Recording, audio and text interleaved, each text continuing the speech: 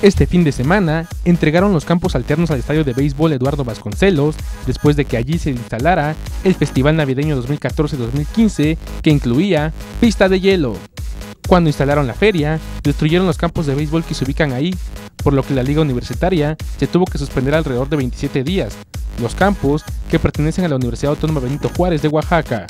A partir del 14 de este mes, una flotilla de 18 personas trabajaron para poder entregar las instalaciones a tiempo, ya que la liga de béisbol se inauguró el domingo.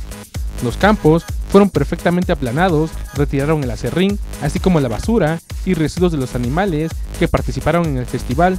Por último, colocaron las bases y delimitaron las canchas. El encargado del lugar informó que durante el año se realizaron 8 eventos, ya que el lugar es rentado por la WAPJO. Para MBM Deportes, Jair Toledo.